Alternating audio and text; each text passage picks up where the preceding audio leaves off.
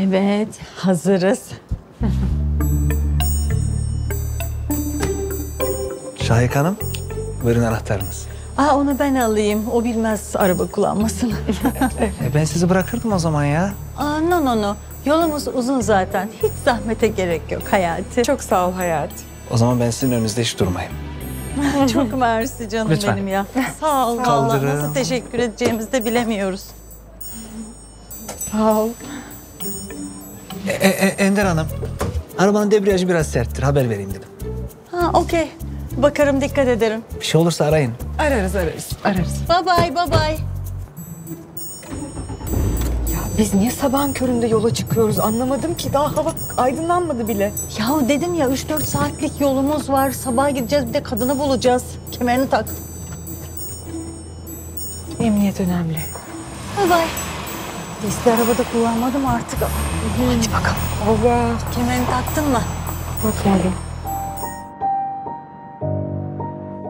Mahmut! Mahmut! Başkanım. Ya oğlum herkesler nerede? Yemek yemeyecek miyiz? Cansu nerede? E, Cansu'yu çağırdım ama gelmiyor. Gelmiyor. Niye gelmiyor? Mutfakta kendi elleriyle size bir şeyler hazırlıyor. Nermin yapar dedim ama beni dinlemedi. Bana bir şeyler mi hazırlıyormuş? Ya ben yufka yürekli hassas bir insanım. Böyle duygusal şeyleri bir anda söyleme. Hay Allah. Başkanım çağırıyor değil mi? Garnizon komutanı içtimai çağırıyor.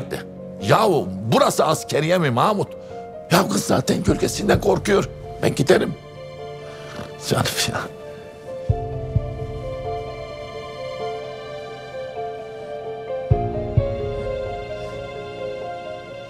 Cansu. Korkma kızım korkma. Ya Mahmut gelmeyeceğini söyleyince ben de merak ettim ne yapıyor diye bir bakayım dedim. Ha yok ben aç değilim sağ olun. Ben müsaadenizle bir şeyler yapıyorum sizin için. Benim için. Ya zahmet olmasın canım niye uğraşıyorsun böyle? O kadar çalışanımız var. Hele Hanım var. Bir güzel yemek yapar. Tabii tabii biliyorum ama ben de bir şeyler deniyorum kendimce. İyi hadi bakalım. Dene. Hadi kolay gelsin. Sağ olun.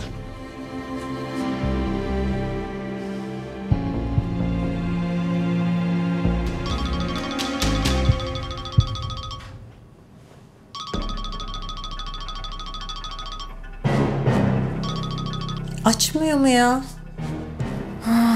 Çattık.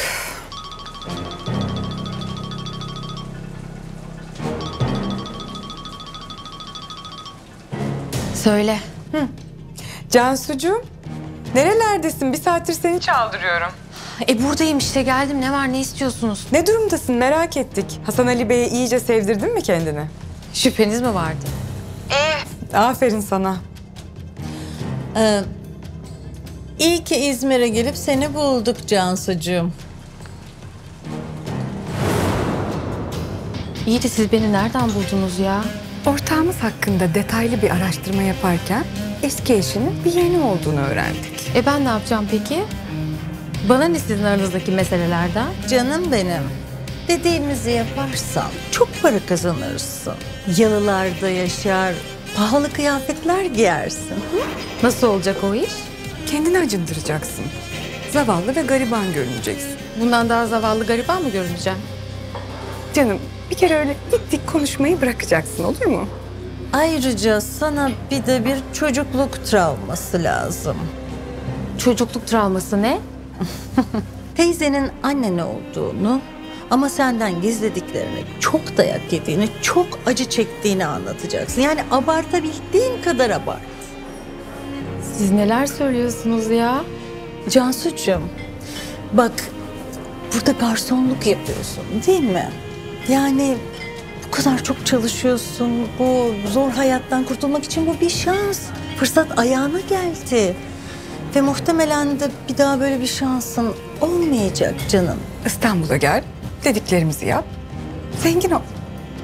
Zaten biz şirkete döndüğümüzde artık senin sırtın yere gelmez. Hiç merak etme. Yalnız Cansucuğum düşünmek için fazla vaktin yok. Zaten ortada düşünecek pek de bir şey yok öyle değil mi? Cansu, işine dön. Tamam.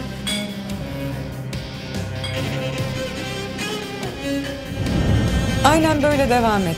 Sana inansınlar, güvensinler. Zaten öyle bir hikaye uydurdunuz ki inanmamak elde değil yani. Yok annem teyzemmiş de kendine zorla teyze dedirtiyormuş da. Nereden geliyor aklınıza bunlar sizin? Bana da öğretin. Gelir bizim aklımıza Cansucuğum. Kimin nereden vuracağımızı çok iyi biliriz. Sen şimdilik bütün bunları boş ver. Harekete geçeceğin zamanı sana haber veririz. Bizden haber bekle. Beklemedeyim. Hadi bakalım fıstık görelim seni. Fıstık mı? İşte ne yapalım gazlayalım diye söylüyorum. Ay. Bunlar da kendini akıllı sanıyor ya. Halbuki önce sizi bitireceğim haberiniz yok.